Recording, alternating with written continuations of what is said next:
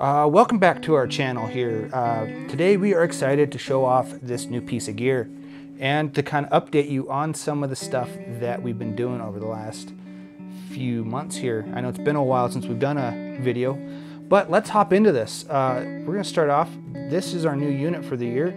It is the Heritage Baby Ram. I got it from our friends at Sweetwater. Um, it's a really robust unit, um, all metal, kind of that vintage Neve look. Uh, I don't know what they call that, blue gray. I, I'm not entirely sure what the color is called, but um, I am so far digging this big knob that's on the front here, and it's detented, which is awesome. I don't have to worry about bumping stuff and making things louder when they don't need to be.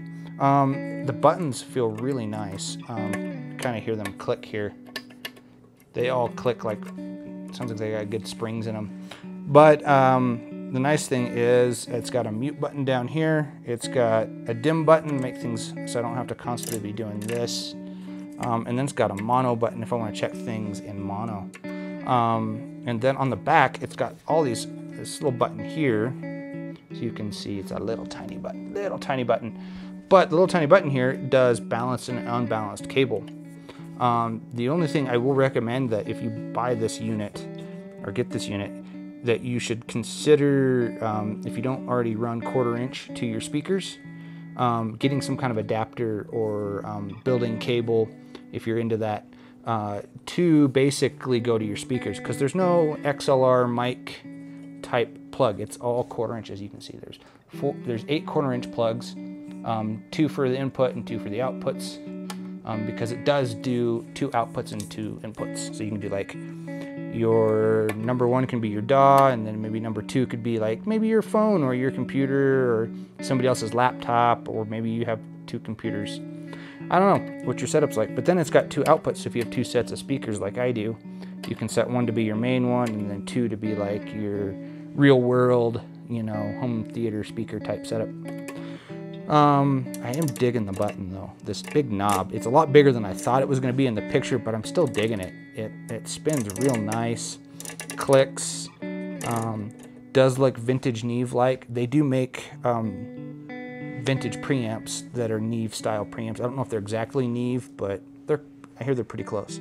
Um, they do make a bigger version of this bad boy that I think might have some XLR inputs and outputs on it um, that's called the RAM, I think, or the RAM 5000. Um, it's on their website, um, and it's also on Sweetwater's website.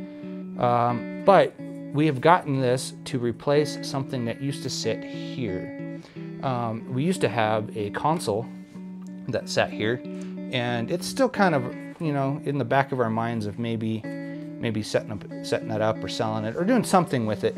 We're not entirely sure but this particular unit will replace um, the functions that that console had on the master section where I could have multiple outputs and multiple inputs and select between the two.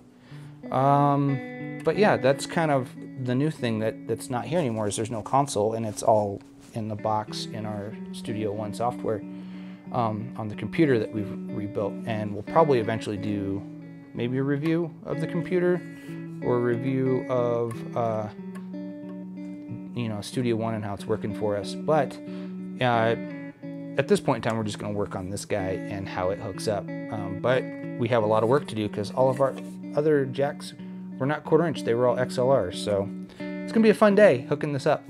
Uh, you know, thanks for watching. We've got more videos to come more videos that uh, will probably be on this guy and how it works for us. We've got some other videos on, like I said, maybe the computer and Studio One, um, and then maybe if we get enough kind of people want and maybe do a studio tour.